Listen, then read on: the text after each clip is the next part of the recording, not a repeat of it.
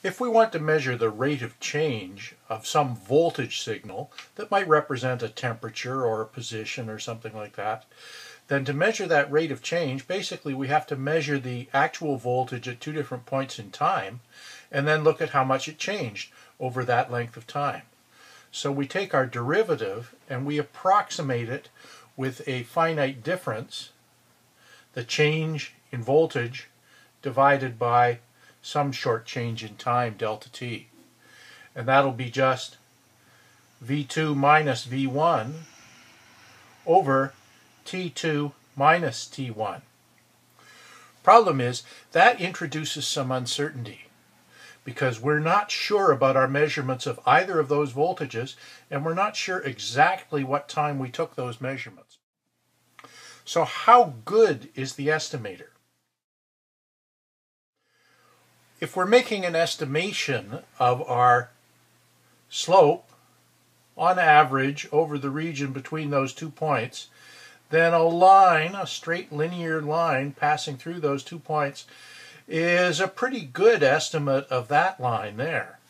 It's not such a good representation of this one or that one, but it's a pretty good estimate of the average between them. So as long as we keep this time delta t fairly short, then our estimator, our finite difference estimator, will be pretty good. Now suppose we set out to measure it. The next question is, how good is our measurement?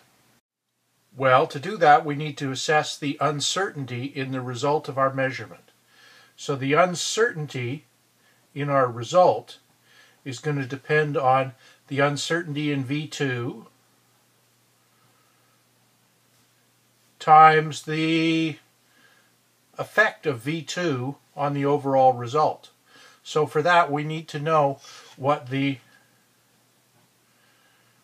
change in R will be for a change in V2.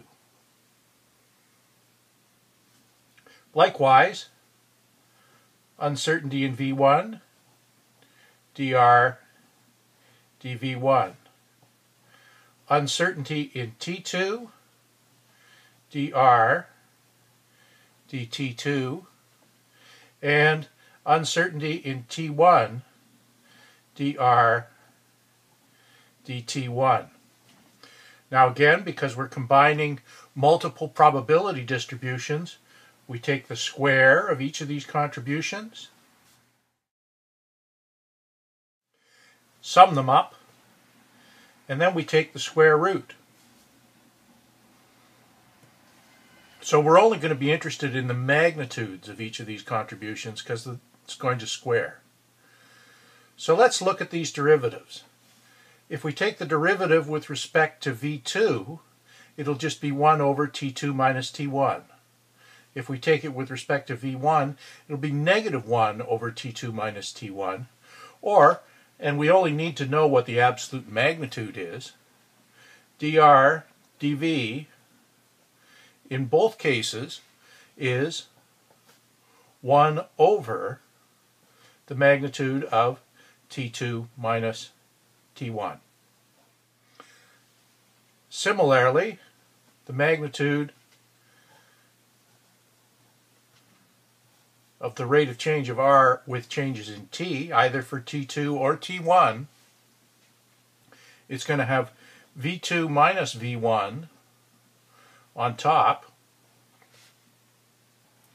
divided by T2 minus T1 squared.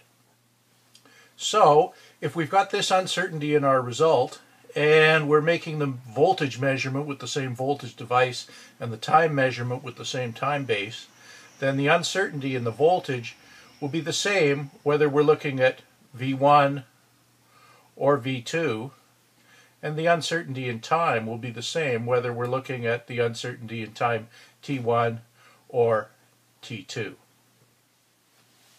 Plugging that in, we get UR equal to 2 times uv over t2 minus t1 squared plus 2 times ut times V2 minus V1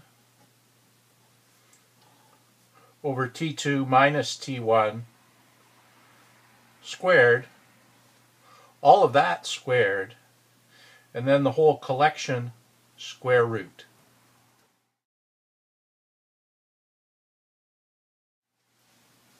So let's look at this relationship. It says that there's a factor of 2 because we've got two times that we're measuring and two voltages that we're measuring.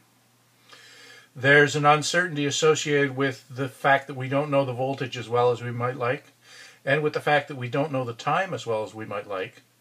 And those are modified by the actual changes that we measured. How big were the differences between the voltages and the time? So this uncertainty gets large if delta t is small. Gets large if delta t is small, or if delta v is large. Or, of course, if either of the uncertainties in either the voltage or the time scale are large. Now suppose we had a slope of about 1 like this.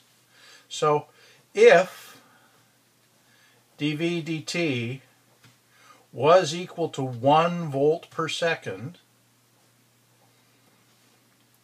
then if we took our delta t for 1 second, our, del our delta v would be 1 volt.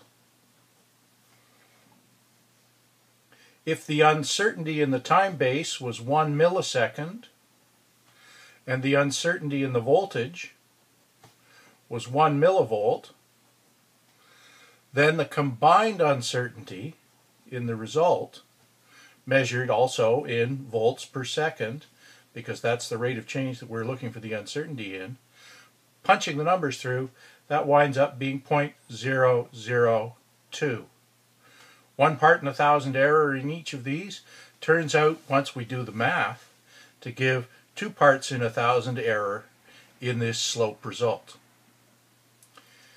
Suppose we did it a little faster. Let's do 100 samples a second, so 10 milliseconds delta t. That would translate to 10 millivolts delta V. If we stuck with the same 1 millisecond and 1 millivolt accuracy, we'd have an uncertainty of 0.200. So that's 20%.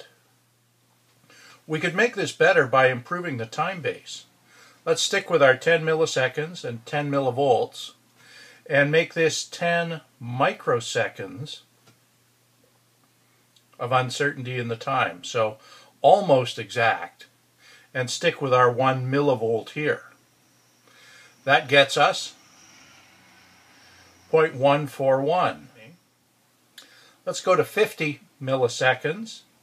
So instead of 100 samples per second, we're going to look at it just 20 times a second.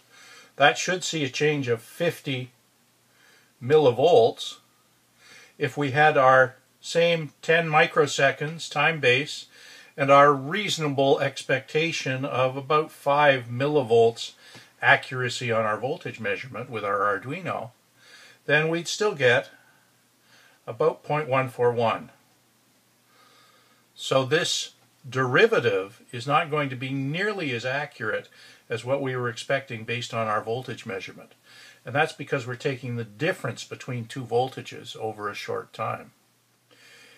If we tried to go back to our 10 milliseconds, 10 millivolts, with our 10 microsecond time base and our 5 millivolt uh, voltage accuracy, we'd have an uncertainty of 0.707, 70% of the actual measurement. So very poor accuracy if we take that very high speed unless we can improve on the accuracy of our voltage measurement.